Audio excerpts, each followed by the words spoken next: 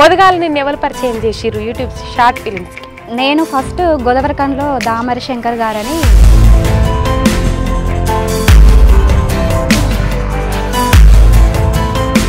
అయితే short films రాకముందు ఏం చేస్తుండ్రు మీరు అంతకుముందు? డివర్స్ అయింది హస్బెండ్ దగ్గర నుంచి. ఇక మమ్మీ వాళ్ళ దగ్గర వండుకుంటూ ఒక షాప్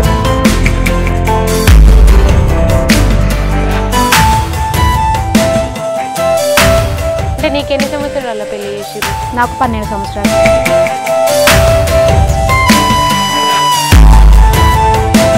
ఇండస్ట్రీకి రావడానికి ఏమైనా సఫర్ అయినవా? బాగా సఫర్ అయినా.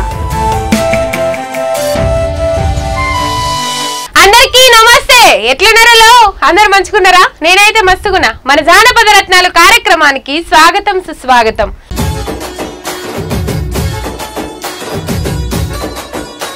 ఇంట్లో ఉప్పు లేదు పప్పు లేదు కారం లేదు నూనె లేదు ఆఖరికి బియ్యం కూడా లేవు. ఏమున్నాయని తిని సత్తావు.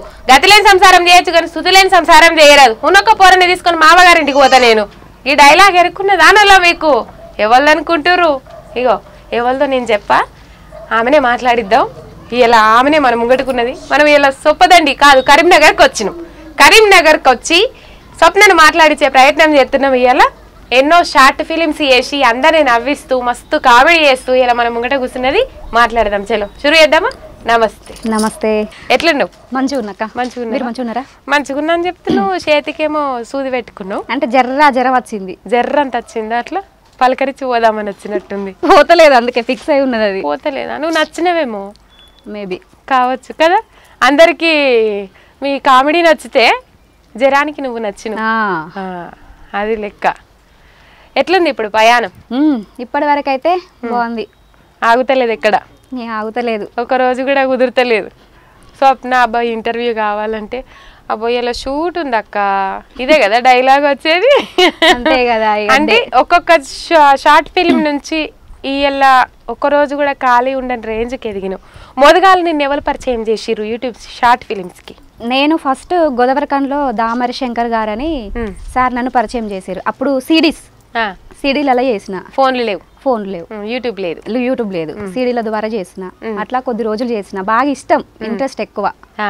ఈ అక్కడ నుంచి కరీంనగర్కి మా మామయ్య అశోక్ కుమార్ గారు ఆర్ఎస్ నందసారికి పరిచయం చేసారు. ఈ అక్క నుంచి తోవ నడుతూనే ఉన్నది. ఇప్పటి వరకు అయితే అశోక్ కుమార్ అంటే? మట్టం అశోక్ కుమార్ అని మామయ్య. మీ మామయ్యనా? ఉమ్, తను కూడా ఆర్టిస్ట్. మామయ్య కూడా ఛానల్ ఉంది. తీసుకొచ్చి ఆర్ఎస్ నంద గారికి పరిచయం చేసిర్రు. అప్పటి నుంచి సాగుతూనే సాగుతూనే ఉంది. పోనీ మీకు ఈ ఇంట్రెస్ట్ ఎప్పుడు వచ్చింది? నాకు చిన్నప్పటి నుంచి యాక్టింగ్ అంటే ఇంట్రెస్ట్. చిన్నప్పటి నుంచి? చిన్నప్పటి నుంచే. ఏ తరగతి నుంచి? ఓ నాలుగైదవ తరగతి నుంచే. నాలుగైదు తరగతి నుంచే? నేను కూడా అట్లా చేయాలి వీళ్ళు మంచిగా చేస్తారు. నేను కూడా ఇట్లా చేయాలి నేను కూడా టీవీలో వస్తా కావచ్చు. ఈ పిచ్చి ఉండేది కొంచెం. అంటే స్కిట్లు ఏమన్నా వేసేదా బల్లి ఉన్నప్పుడు? ఏం చేయకపోయేది కానీ చెయ్యాలని ఇంట్రెస్ట్ ఉండేది. కానీ ఎప్పుడు స్కూల్ అయితే ఏం చేయలేదు. స్కూల్లో అయితే ఏం చేయలే. అంటే స్కూల్లో ప్రోత్సహించిన వాళ్ళు ఎవరు లేరు.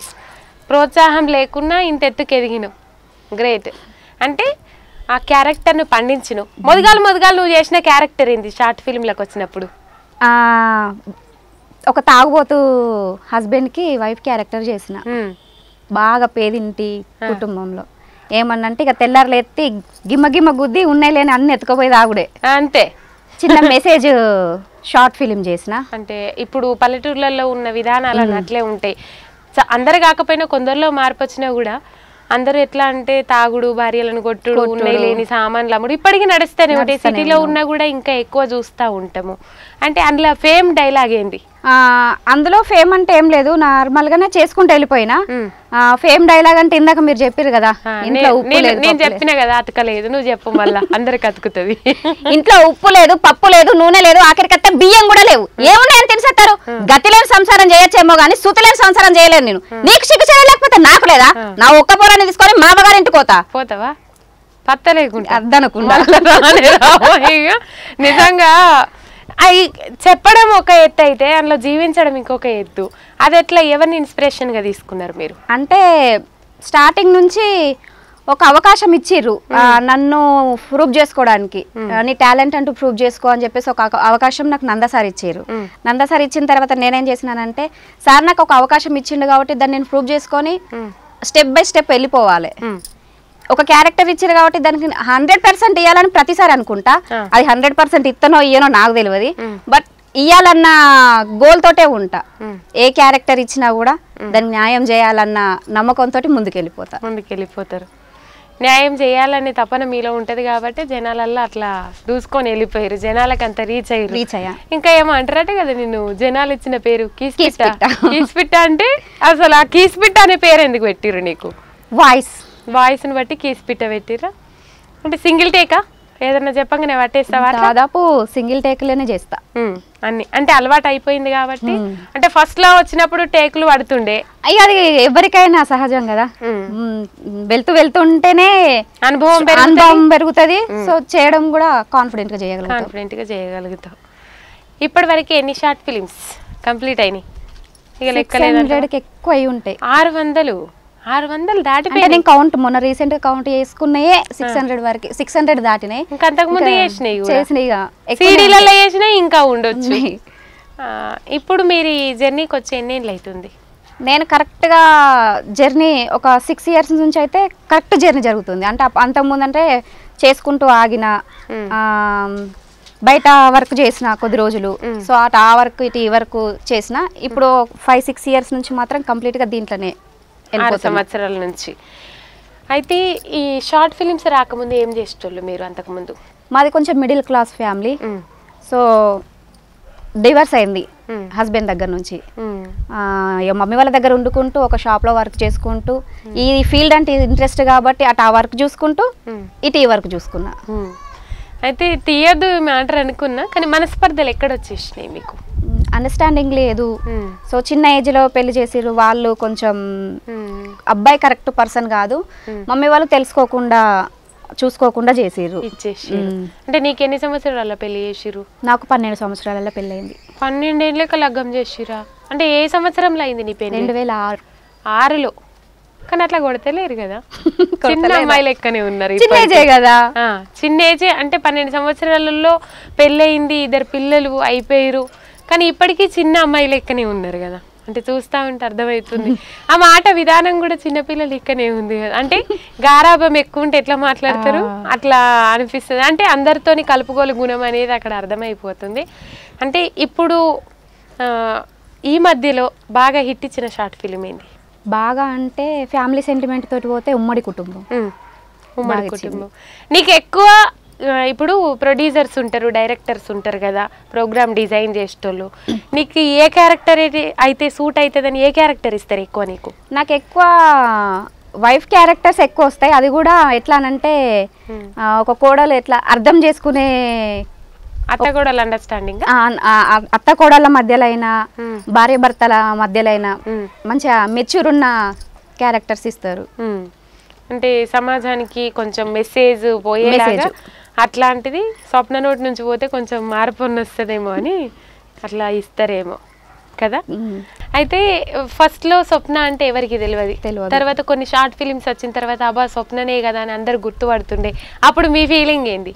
చాలా హ్యాపీగా అనిపిస్తుంది. ఇప్పుడైతే ఫుల్ హ్యాపీగా ఉన్నా. ఎందుకంటే చాలా మంది మనసులో ఉండిపోయిన. ఎక్కడెక్కడో నుంచో ఫోన్స్ చేస్తారు. మాకు కామెంట్లు పెడతారు. పర్సనల్గా వచ్చి కలుస్తారు. ఫుల్ హ్యాపీగా ఉన్నా. ప్రతి ఒక్కరి మనసులో ఇంత ప్లేస్ అయితే సంపాదించుకున్నా. ఇంత కాదు ఇంత.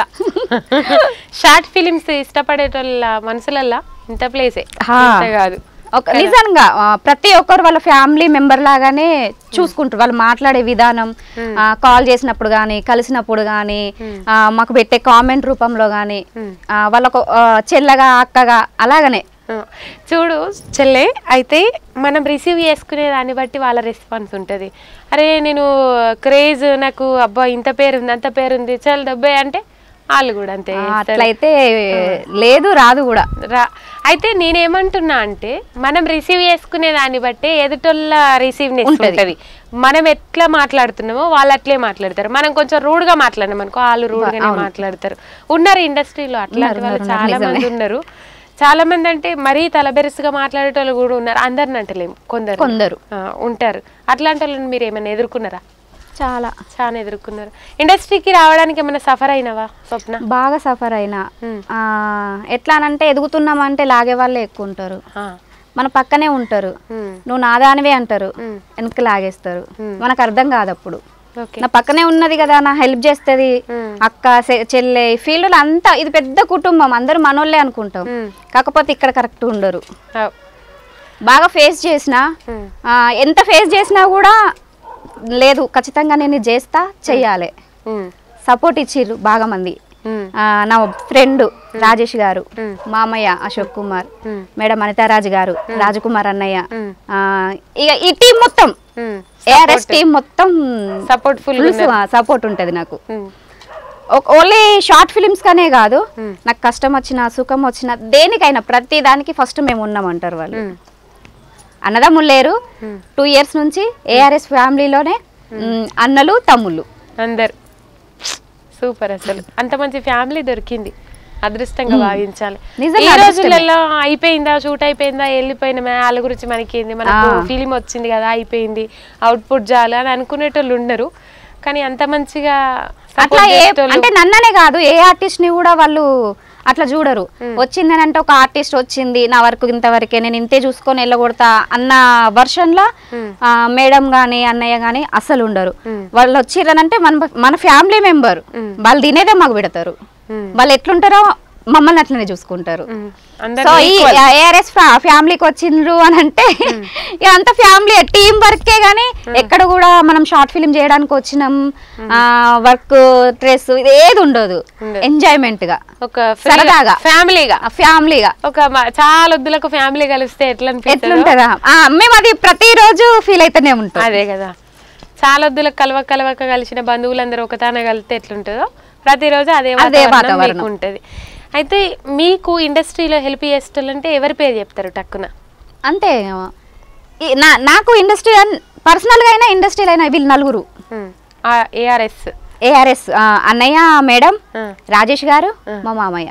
ఎక్కడికైనా ఇవి నాలుగు ఖచ్చితంగా చెప్పుకుంటా నేను. నేను ఏ సిచ్యువేషన్లో ఉన్నా మేము ఉన్నామంటారు ముందు. ఆపద వచ్చింది. ముందుగా లెవెల్కి ఫోన్ చేస్తా. రాజేష్ గారు. రాజేష్ గారు అంటే?